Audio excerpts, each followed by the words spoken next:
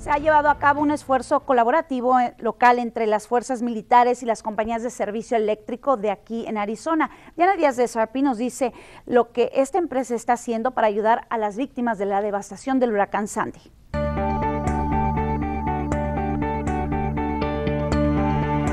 Una gran parte de la devastación en Nueva York y los otros 23 estados afectados en la costa este está relacionado a la falta de electricidad ya que millones de residentes se han quedado sin luz.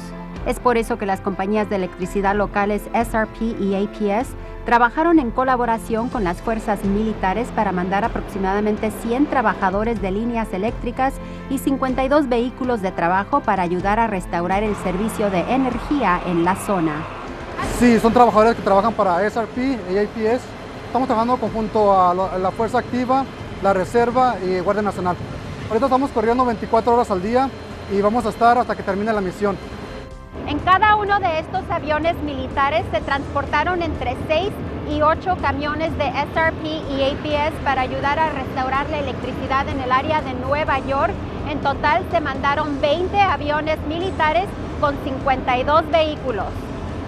Ah, estamos haciendo inspeccionando todos los vehículos, asegurando que no llevan explosivos, químicos o baterías que pueden eh, iniciar cualquier tipo de fuego o un accidente adentro del, del C-17. Es un avión que lleva cinco vehículos para Nueva York.